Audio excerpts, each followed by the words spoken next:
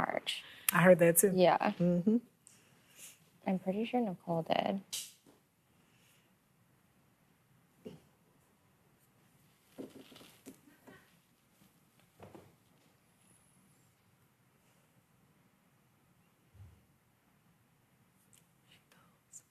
Can I borrow you for 30 minutes tomorrow?